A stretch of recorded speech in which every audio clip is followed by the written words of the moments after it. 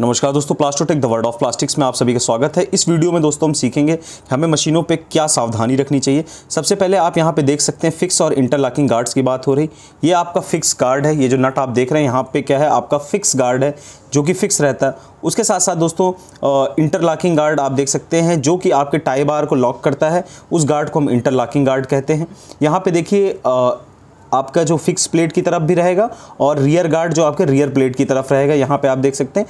तो आपको दोस्तों लॉकिंग नट्स को हमेशा ये ध्यान में रखना है कि जब तक ये पूरी तरीके से टाइट ना हो अच्छे से मशीन को रन मत करिएगा। बहुत सारी प्रॉब्लम्स आपको फेस करनी पड़ सकती हैं। टाई बार जो नट्स हैं, इनको लॉक होना बहुत ज़रूरी है।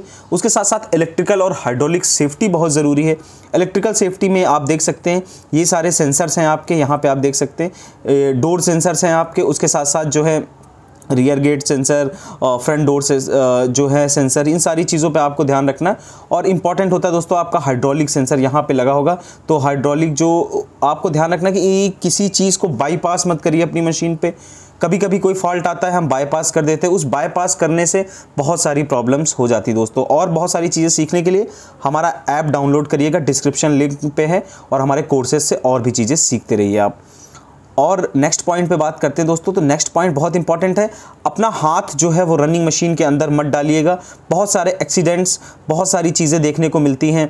इस तरीके से आप जो है लापरवाही मत करिए कि मशीन चल रही है और इसमें हाथ डाल लिए, ऐसे आप हाथ डाल रहे हो। तो कई बार क्या होता है कि मोल्ड जो है वो बंद हो जाता है। ये आप ट्राई मत करिए। हमने मशीन बंद रखी है सेफ्टी पर्पज़ के लिए। यहाँ पर आप देख सकते हैं पूरी मशीन जो हमारी बंद है, तब हम इस तरीके से कर पाते हैं। कोई ख़तरनाक स्टंट करने की ज़रूरत नहीं है, क्योंकि यहाँ पे बहुत सारे लोगों ने अपने हाथ खोए हैं, बहुत सारे लोगों ने अपनी जान तक खोई है यहाँ पे। तो ये चीज़ आपको ध्यान रखना है सेफ्टी पर्पज़ के हिसाब से। बिल्कुल भी रनिंग मशीन जब तक आपकी पूरी मशीन बंद ना हो, इस पर अंदर मत घुसिएगा, कोई काम मत करिएगा। सेफ्टी के लिहाज से बहुत ज़्यादा ज़रूरी है दोस्तों।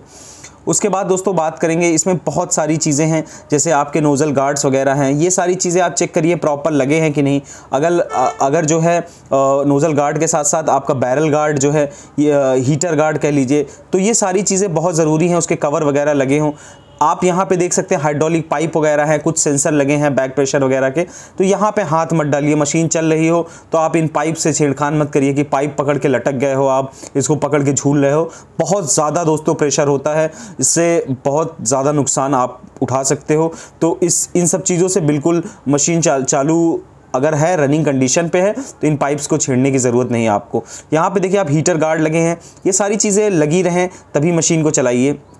अभी आप देख सकते हैं मशीन हमारी ओपन कंडीशन में है, मशीन मैन्युफैक्चरिंग यूनिट में है। इसलिए देखिए आप पीछे का जो यहाँ पे बैक गार्ड है, वो हमने खोल के रखा है आपको दिखाने के लिए कि यहाँ पे आप बहुत सारे देख सकते हैं किस तरीके से डेंजरस चीज़ें हैं।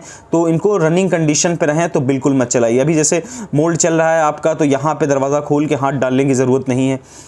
उसके साथ साथ रियर यूनिट है, यहाँ पर आपको कोई चीज़ टच करने की ज़रूरत नहीं है। क्योंकि ये सारी चीज़ें तो वैसे भी लॉक होती हैं, आप हाथ नहीं डाल पाओगे। बट अगर समटाइम्स अगर ये ओपन है तो बिल्कुल बिल्कुल भी आप दोस्तों हाथ मत डालिए इसको। सेफ्टी के लिहाज से बहुत ज़्यादा ज़रूरी है।